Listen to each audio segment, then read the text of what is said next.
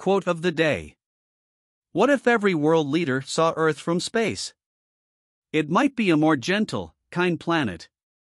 Beth Moses, Chief Astronaut Instructor for Virgin Galactic.